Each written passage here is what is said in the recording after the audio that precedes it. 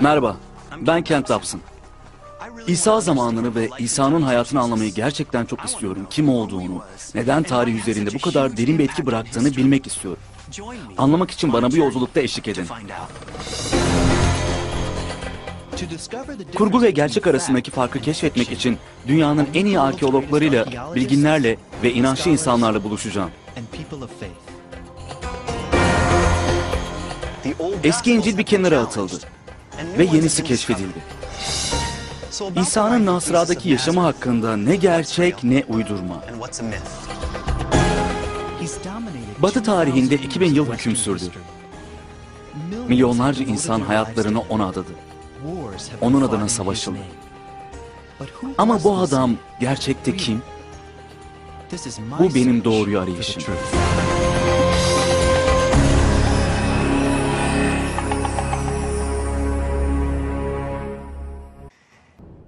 Bizi İsa'nın ölümünü izleyen haftaları ve aylara götür.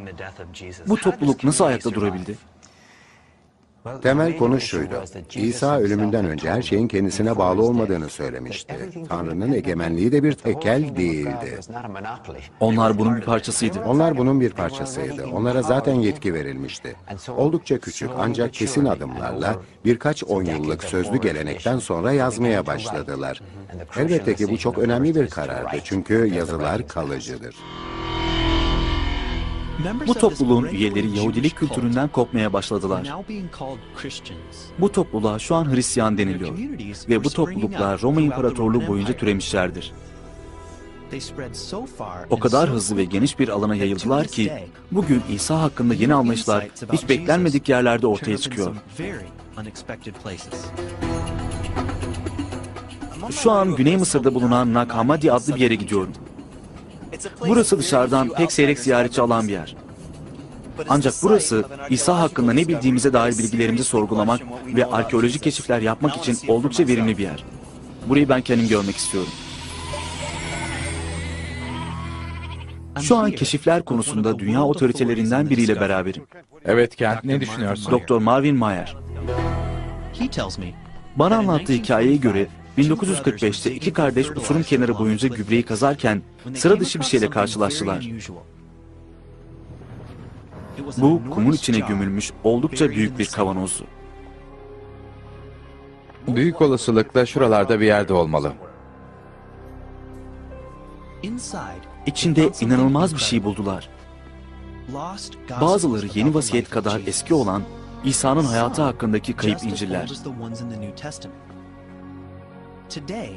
Bugün bunlar Gnostik İncil'leri olarak biliniyor.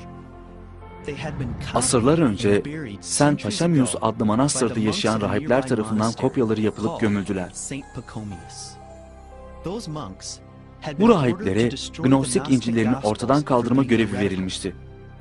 Ancak rahipler bu İncil'leri sakladı. Rahipler için buraya gelip bu belgeleri bir kavanoza koyarak gömmek nasıl bir şeydi açıklar mısınız?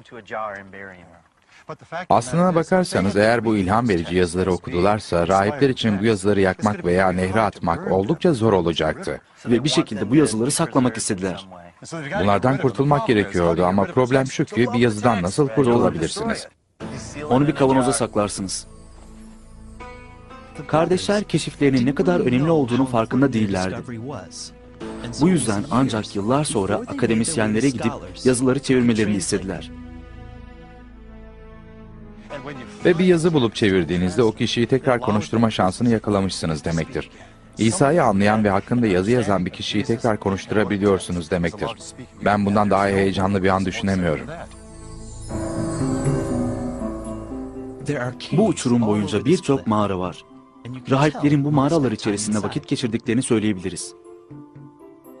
Ben bir tane buldum. Mağaranın içi antik el yazılarıyla doluydu.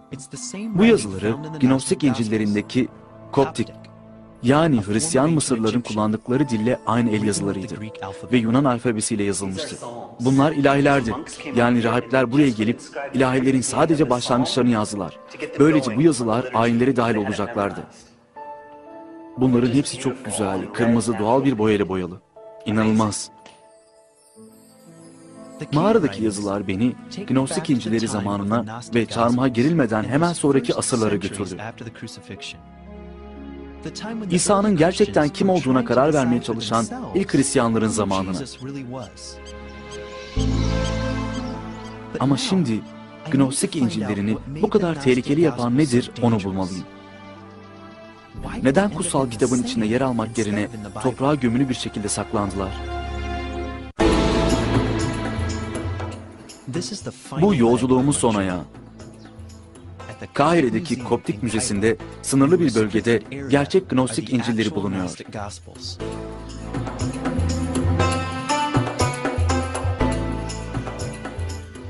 İçlerinde onları gömülmeye mahkum edecek ne yazıyor diye ortaya çıkarmak için buradayım. Merhaba, Merhaba. Kent. Nasılsın?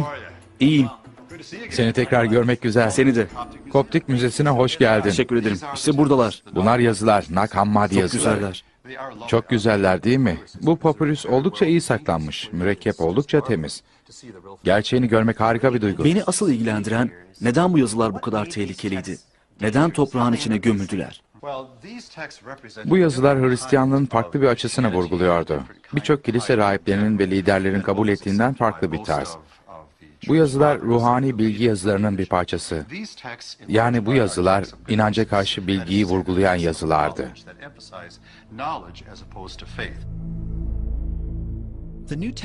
Yeni vasiyette dört tane İncil bulunuyor. Burada bir düzine daha var. Thomas İncil'i ise en tartışmalı olan. Neden? Çünkü bu İncil Hristiyanlığın esas inanışını ve İsa'nın kutsallığını sorgular. Bu İncil'de şöyle der. Egemenlik sizin içinizdedir.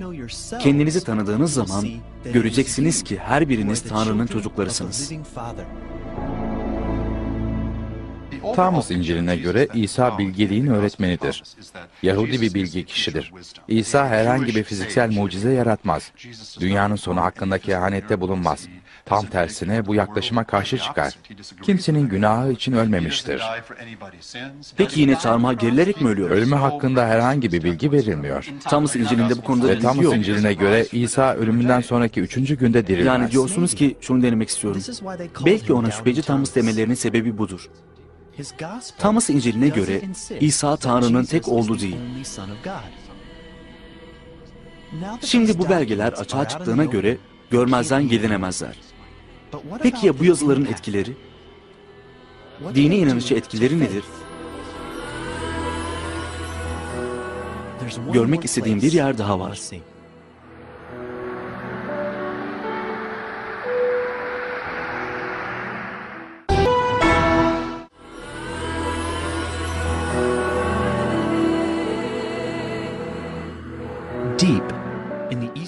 Mısır'ın doğu çöllerinde manastır hayatını yaşamış bir dizi Hristiyan rahip var. 4. yüzyıldan beri. Adı San Antoni. San Antoni Hristiyan manastırı tarafından milattan sonra 356 yılında Gnostik İncil'lerinin dinsiz olduğunun deklare edildiği zamanda yapıldı. Rahipler o zamandan beri burada ibadet etti, dua etti ve yaşadı. Umuyorum ki bu uzak yer bana inançlılığın önceden ve şimdi ne anlama geldiğini öğretebilir ve Gnostik İncil'lerini tercüme eder. Peder Maximus, adım Kent. Tanıştığımıza memnun oldum. Memnun oldum. Burası çok güzel bir yer. Ha, teşekkür ederim. Hoş geldiniz. Teşekkür ederim. Peder Maximus San Antoni'de 30 yıldır rahiplik yapıyor. Pederin yaşamından çok etkilendim. Neredeyse binlerce yıl önce Mısır çöllerinde yaşamış rahiplerin yaşamlarından hiçbir farkı yok. Çölde kendinizi Tanrı'ya daha mı yakın hissediyorsunuz? Evet, tabii ki.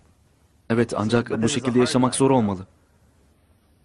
Bu şekilde yaşamak zor ancak oldukça güzel ve eğlenceli bir yaşam. Demek istiyorum ki bir rahip olarak burada yaşadığınızı hissediyorsunuz. Eski zamanlarda pederlerin İncil'i gerçek hayata nasıl tercüme ettiklerini de. Evet, ha, burada ayakkabılarımızı çıkarıyoruz. Peder Maximus beni manastırın kilisesine getirdi. Dünyadaki en eski kiliselerden biri. Bu inanılmaz. Tüm bu çizimler, Burası St. Anthony Kilisesi. 4. yüzyılda inşa edildi. 4. yüzyılda. Yapı, bina 4. yüzyıldan kalma. Kilise koptik nakışlarla kaplı. Bazıları Nag Hammadi'deki rahiplerin Gnostik İncil'lerini kopyaladığı zamanlarda boyanmış. Şunu bilmem gerekiyor. Bu yeni İncil'ler Maximus gibi inançlı bir Ortodoksu nasıl etkiliyor? Bu buluşların bize İsa ile ilgili bir şeyler anlattığını düşünüyor musunuz? Evet, e, İsa hakkında bir şeyler söylüyorlar ama yanlış bir yön. Yanlış bir yönde mi? Size anlattılar mı? Onlar İsa'nın çarmıha gerilmediğini söylüyorlar. Demek istiyorum ki bu inanılmaz. Çünkü İncil'den bazı semboller alarak putperest mitolojisiyle birleştiriyorlar. Yani bu ikisini kombine etmeye çalışıyorlar. Ki bu doğru değil. Yani bu demek oluyor ki onların Hristiyan olmadığını söyleyebiliriz. Biz tüm bu Gnostik hareketi kiliseden aforoz ettik ve bunun bir Hristiyan hareketi olmadığını söyledik. Bu hareket tamamen farklı bir şey. Baptist son hakkında hiçbir şey yok mu? Peder Maximus'un hiç şüphesi yok. Ona göre Gnostik İncil'leri aykırıdır. Ve Hristiyanlık onlar olmadan daha iyidir. Bana göre bu İncil'leri görmezden gelmek o kadar da kolay değil. Gnostik İncil'leri önemlidir. En başından beri bu İncil'ler Hristiyanlığın farklı tipleri ve İsa'nın farklı versiyonları olduğunun bir hatırlatıcısı gibidir.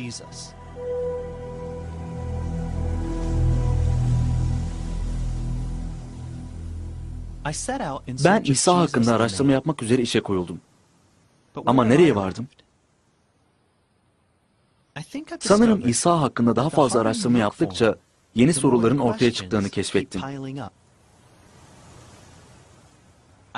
Şüpheci Thomas diye bilinen Thomas karakteriyle birçok bağlantım olduğunu hissediyorum. Thomas, İsa'nın dirilişi konusunda şüpheci yaklaşıyordu. Ve ben de İncil'e ve İsa'nın hikayesinde kendi sorularımı ve şüphelerimi ortaya koyuyorum. Ancak o bir müritti ve mürit olarak kaldı. Ve bence bu sadece dürüst bir insan olmanın bir parçasıydı. Ben bunun böyle olduğuna inanıyorum. Ve İsa'nın bile benim gibi birinin sorular sormaktan vazgeçmesini isteyeceğini sanmıyorum. Çünkü onun hakkında araştırmalar yaptıkça onu daha iyi anlayacağımıza inanıyorum.